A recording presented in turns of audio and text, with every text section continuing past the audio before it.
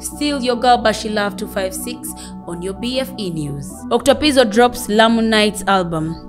Well, well, well, the album that many East Africa hip hop lovers have been anticipating for is here, Lamu Nights. The album just got dropped by Octopizzo, who is arguably one of the best rappers in East Africa.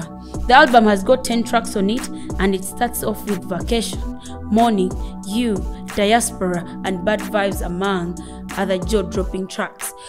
Octopizzo features artists like Nad, Costa Ajwang, and 1DK among others. Lamu Nights album is an album that is worth each every penny.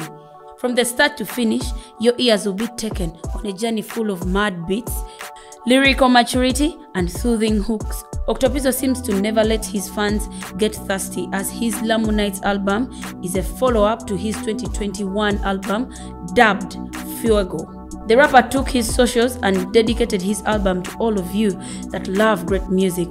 Octopizzo further made it clear that he made this album with such love. His album is supported by premium cognac brand Hennessy. Tell us what you think about Octopizzo's Lamu album in the comment section below and don't forget to subscribe to our YouTube channel Baboon Forest Entertainment for more updates.